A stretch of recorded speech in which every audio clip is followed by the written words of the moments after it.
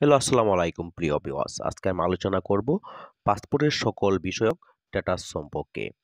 Pending SB DSB police verification enrollment in process pending for final approval pending for backend verification send for reward submitted report approval passport shift passport ready for issuance passport issued সেই সম্পর্কে আজকে আমার আলোচনা।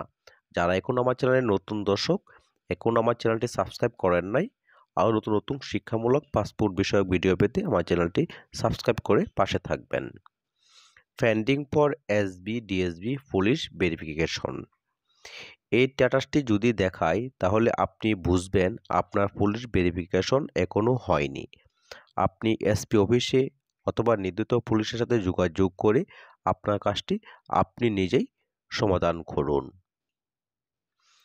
Enrolment process এই স্ট্যাটাসটি যদি দেখায়, তাহলে আপনি বুঝবেন আপনার পুলিশ ভেরিফিকেশন হয়ে গেছে। আপনার police verification report local passport অফিসে প্রেরণের জন্য আছে। অতি শীঘ্রই আপনার রিপোর্টটি টাকা প্রেরণ করা হবে। পেন্ডিং ফর ফাইনাল অ্যাপ্রুভেল এই স্ট্যাটাসটি যদি আসে, তাহলে আপনি অবশ্যই বুঝবেন আপনার পুলিশ ভেরিফিকেশন হয়ে গেছে। আপনার লোকাল পাসপোর্ট অফিসের অ্যাডিসার হেড অফিসের তথ্য প্রেরণ করবেন এবং ডাকার তথ্যটি চলে যাবে। ফ্যান্ডিং ফর ব্যাকএন্ড ভেরিফিকেশন অ্যাড্রেসটি যদি আসে তাহলে আপনি বুঝবেন আপনার পাসপোর্টে কোনো ভুলের কারণে বা জাতীয় পরিচয়পত্র এবং পাসপোর্টের তথ্য গড়মিল থাকার কারণে অ্যাড্রেসটি দেখাচ্ছে।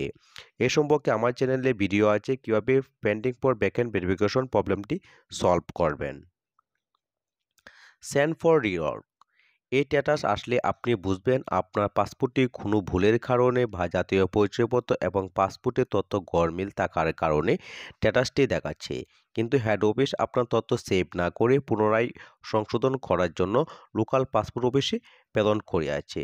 আপনি তথ্য সংশোধন করে পুনরায় আপনার কাজ সমাধান করতে হবে। সাবমিটেড এই স্ট্যাটাসটি যদি আসে তাহলে আপনি বুঝবেন আপনার রিপোর্টটি সাবমিট করা হয়েছে। আপনার পুলিশ ভেরিফিকেশন কাজ কমপ্লিট এবং সাবমিট করে দিয়েছে।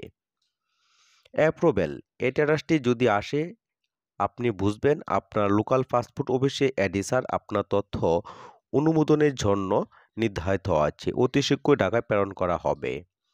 পাসপোর্ট পিন কোয়ারেন্স এই স্ট্যাটাসটি যদি দেখায় তাহলে আপনি বুঝবেন আপনার পাসপোর্ট পিন করার জন্য আছে। অতি শীঘ্রই আপনার পাসপোর্ট পিন করে হয়ে যাবে এবং আপনার পাসপোর্ট আপনি হাতে পেয়ে যাবেন।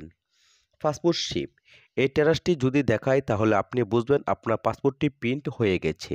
আপনার পাসপোর্টটি লোকাল পাসপোর্ট অফিসে প্রেরণ করা হয়েছে হেড অফিস থেকে। এখন আপনি একটি এস এম এসের জন্য অপেক্ষা করবেন। এস এম এস আসলে আপনি আপনার পাসপোর্টটি অতি শীঘ্রই আপনার হাতে পেয়ে যাবেন। পাসপোর্ট রেডি ফর ইন্স্যুরেন্স এই যদি দেখায়, তাহলে আপনি বুঝবেন আপনার পাসপোর্টটি হেড অফিস থেকে লোকাল পাসপোর্ট অফিসে পৌঁছেছে এবং আপনার মোবাইলে এস এম এসও এসেছে। এখন আপনি আপনার পাসপোর্ট সংগ্রহ করার জন্য আপনার নির্ধারিত লোকাল পাসপোর্ট অফিসে যোগাযোগ করবেন। আপনি রিসিট দিলেই আপনার পাসপোর্ট আপনি হাতে পেয়ে যাবেন। পাসপোর্ট ইস্যুড এই যদি দেখায়, তাহলে বুঝবেন আপনার পাসপোর্টটি বা পাসপোর্টটি ইস্যু হয়েছে। মানে পাসপোর্টটি উত্তোলন করা হয়েছে। যদিও এটার কোনো প্রয়োজন নাই, তাই স্ট্যাটাস যেহেতু, তাই এ সম্পর্কে আলোচনা করলাম।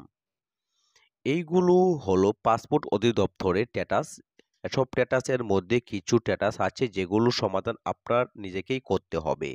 কোন স্ট্যাটাস কীভাবে সমাধান করতে হবে, আমি পর্যায়ক্রমে এসব সমাধান ভিডিও করতে থাকব। এছাড়া আপনার সমস্যার কথা কমেন্ট করে জানিয়ে দিবেন। আমি আপনার কমেন্টের উপর ভিত্তি করে নতুন কোনো ভিডিও তৈরি করব। ধন্যবাদ সকলকে, ভালো থাকবেন।